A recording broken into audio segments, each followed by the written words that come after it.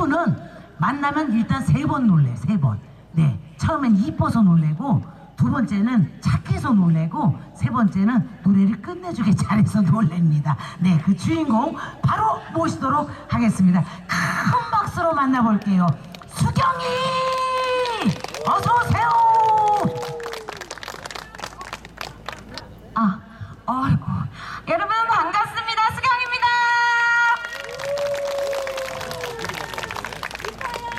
반갑습니다. 일단 저희 타이틀곡 나미야 먼저 띄워드릴게요. 우리 여러분 환호 많이 해주세요.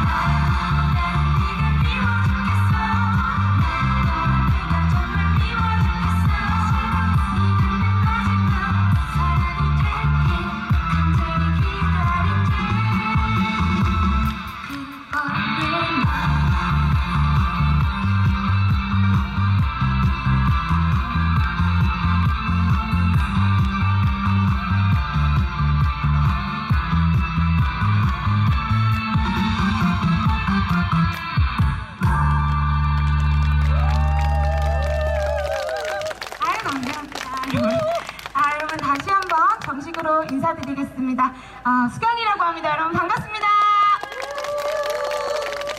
어.